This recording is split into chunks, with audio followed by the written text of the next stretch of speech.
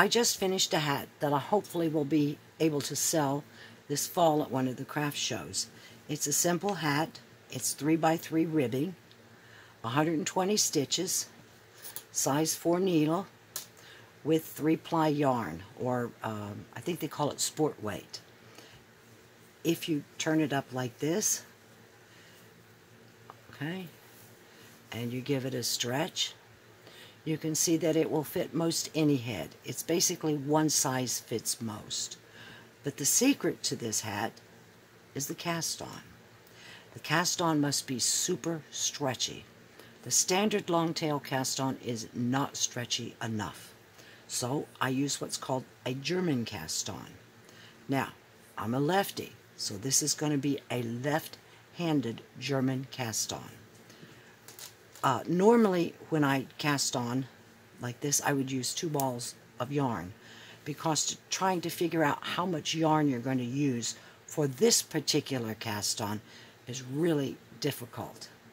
So, we got two strands of yarn. In this case, we're making them contrasting so you can see what I'm doing.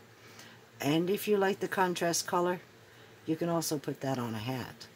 Looks kind of nice. We're going to make a simple slip knot like that.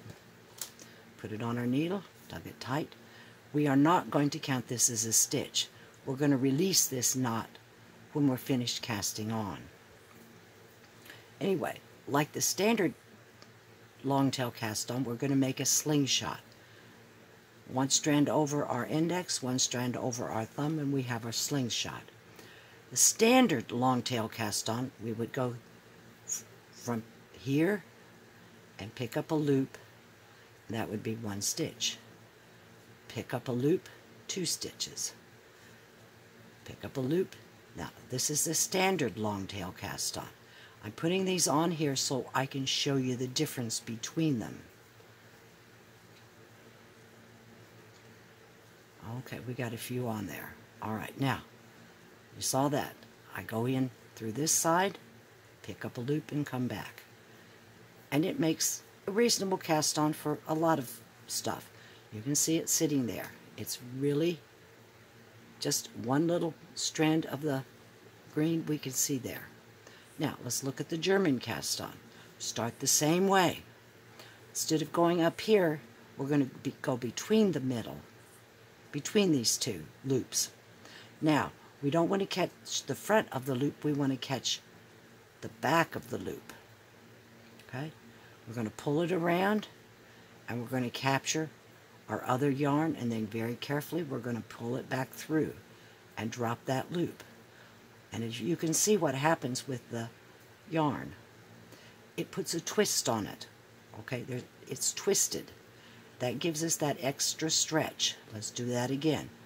Through the middle, catch this side of the loop, pull it back, cap capture our stitch, weasel it back through. There we go. One more.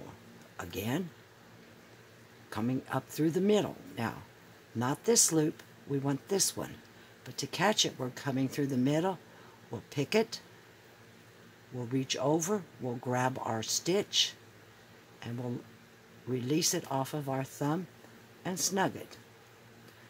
Through the middle, catch the inside loop, over, and back we go. The needle comes up through this one, and when we capture that loop, we want to put the needle back where it started, and then release it off of our thumb. Let's do another one, slow, through the middle. Capture that inside loop, capture a stitch that we're going to put on our needle, and there we go. Now, let's look at them. Okay, this is a little tiny bit of a yarn that we've captured, but this one here, you can see it's actually twisted. There's a loop that's twisted there. And that's what gives us our stretchiness. And if I stretch these stitches out, here, let me get them stretched out here. You can see that the long tail cast on, it stretches a little bit out. Okay, but look at the difference with the other stitches. Come on, they're not slipping on my needle too well. Okay, I get a lot more distance on the long tail, uh, on the German cast on. This is the distance between them. This is the distance between them. So we have almost twice the stretch as with the standard long tail cast on. And on the back side, you can see the difference here too. It's a lot more, lot more of the, the green thread went on into that stitch. And that's because it's twisted. It's literally twisted there. Anyway, I hope this helps you. If you have any questions, uh, put them in the comments. Uh, the pattern is kind of straightforward. I gave it to you. And all you do at the top is you just decrease it um, like a standard hat. Uh, I've got a description, I think, on Knitting Paradise. I'll put that link below. And uh, if you have any questions, be sure to make comments and ask me. I would gladly answer them. Uh, oh, as far as that other, as our beginning stitch, all you have to do is slip it off your needle. And if you if you're using a standard needle, when you when you knit, okay, don't count it. Okay, when you come to it, just drop it. And there, I have two strands. Okay. Anyway, Thank you very much for watching. I hope you uh, have enjoyed this. I hope I've taught you something. Uh, I'll try to put some more videos out about some of the knitting techniques that I have discovered over the years.